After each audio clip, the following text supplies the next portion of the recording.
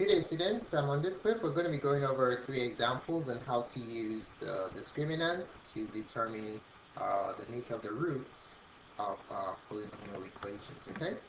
So we can write down the title, uh, the role of the discriminant. That's what we're going to be considering today.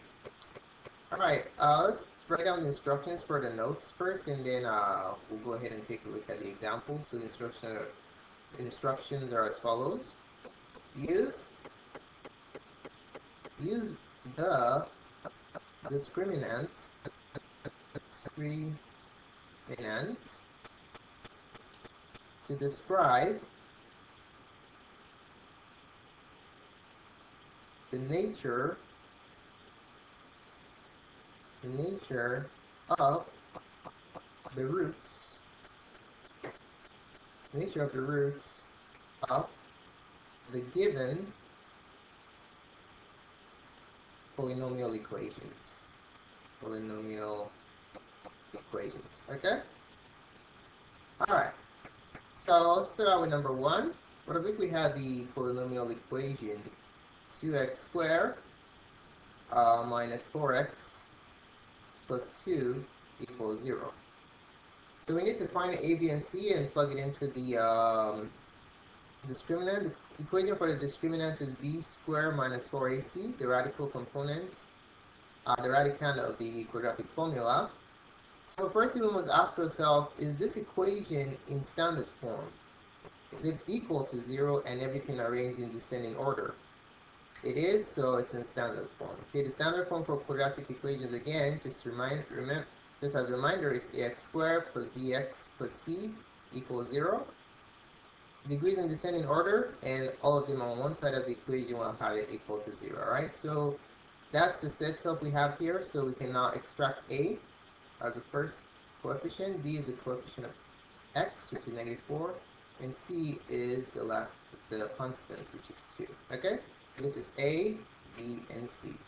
Alright, now we're going to proceed to compute the value of the discriminant, uh, which is b squared minus 4ac. So if I plug in these values into this expression, I'll have uh, negative 4 squared minus 4 times 2 times 2.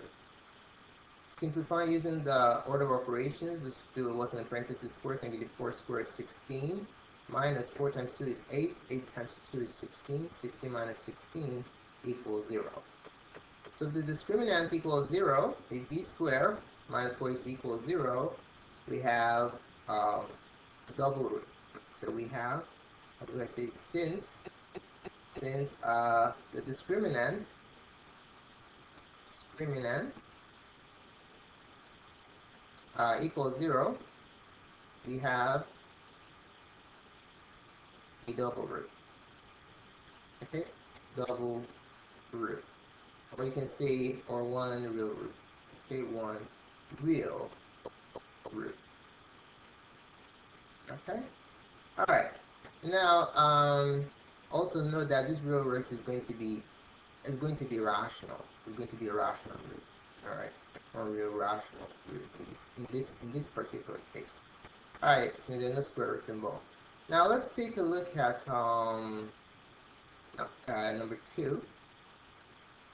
What if we had a quadratic equation of the form 2x squared minus 3x equals 3.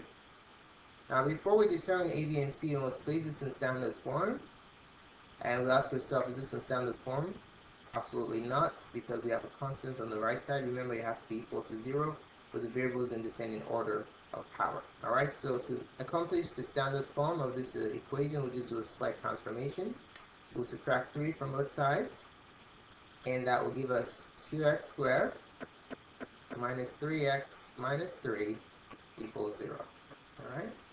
Now we're going to plug it into the discriminant of first need a, which is 2, b, which is negative 3, and c, which is also negative 3.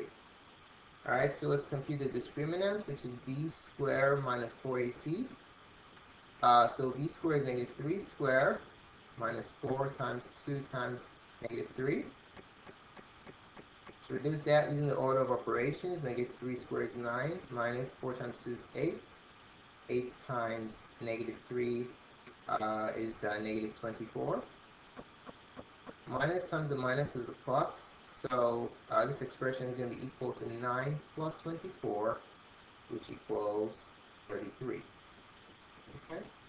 Note, 33 is not a perfect square, alright? Keep that in mind. 33 is not a perfect square. Um, because there's no integer that you can square to get 33. Alright, so what is our conclusion here? Since the discriminant, so the discriminant is, uh, since it is greater than 0 and not a perfect square, a perfect square, okay. Um, we have we will have we'll have two um, distinct two distinct real roots that are that are irrational okay that are irrational the reason that they're irrational is basically, oh boy, let me stop. Uh, the reason that they're irrational is basically because we're going to be taking the square root of a number that's not a perfect square. So when you take the square root of 33, it cannot be broken down. It doesn't have a square root, right? It's, it's going to be radical.